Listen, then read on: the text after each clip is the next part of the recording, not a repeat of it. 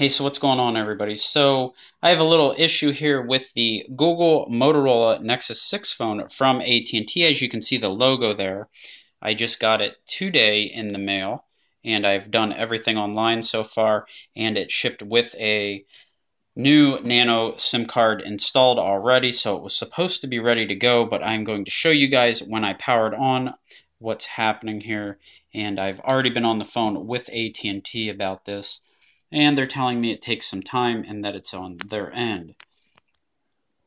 But I discovered a few things in here like that. The Android logo coming up. And then that, that pops up. And I don't know if you noticed at the top, there was like some indication of, I don't know if it was a SIM card that wasn't working or what's going on here. If anybody knows what this is, please leave me a comment in the comments section. I am not sure. Maybe later I will figure it out. I tried to do a backup and reset. That didn't work. I did. Um, I went into fast boot and did a, a, reset, a hard reset. That didn't work. So I have not tried to flash anything yet. But I'm thinking that you know maybe later I'll figure all this out. But anyway, there's a little folder down here that pops up, and if I click on that little folder, you can see the icons that I get down here. Really, really small little icons. One that says browser and if you open it, the browser comes up.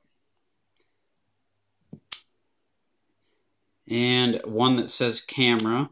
So you can actually, you know, it's facing down right now, but you can actually, you know, power on the camera there. And then, of course, one that says people. And that is what comes up for that one. And one that says phone. I'm just going to go through them all to show you guys because I've been playing around with it, trying to figure this out. Before I go into settings, there's one over here that says testing cam. So I'm going to click on that. I found this one kind of interesting. So if you spin this around, this is what you get here.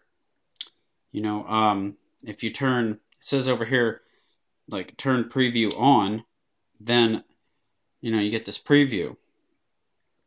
Okay, and then there's one up here that you can touch that says uh, info, and of course you can scroll through all this stuff going on in the background. So I found this pretty interesting. So there are some other options here you can choose, like 3D default. You can go through and select different things here. Um, a preview size, I can change the preview size, and of course info. And every time I turn the preview on or off, you can see down there in the like little command window there, it changes. So I mean, it is exact to the exact time when I change it and stuff. So I, I thought that thing was kind of interesting. I don't know. And that's why I'm thinking this is like coming from the factory, like some type of testing software. Um, it actually adds recent down to the bottom there. So if I fling those away, get rid of those, you will see down here in this taskbar, they're gone now. So now if I go into settings and go through some of the settings here, you will see that one comes up that says Motorola ID under backup and reset. If I check, if I check, click it there, you can see what it says here.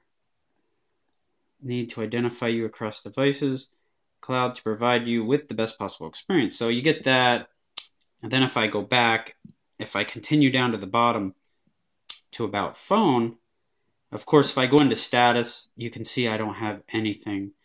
Everything's dead. Like nothing exists. My phone does not recognize no networks or anything like that. But as you go down through this list, you see the model number there. The system information says Motorola Mobile Computing System, Android version 444, and then it has the kernel there. And of course, then it has the build number. Shamu Factory user debug 444 something there. So very interesting of what's going on here with my phone.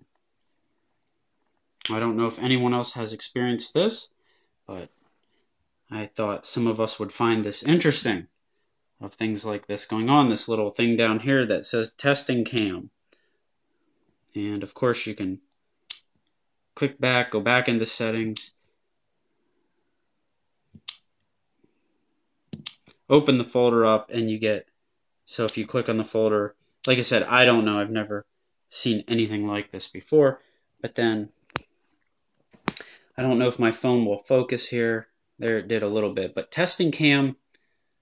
If uh, that's a neat, it's just like a little camera icon, and it's got some colors to it. So if you click it, I just found this one pretty neat. This testing cam. So very very interesting stuff. If any of you guys know what this is, like I said, let me know. Hope you guys enjoyed the video and have a great one.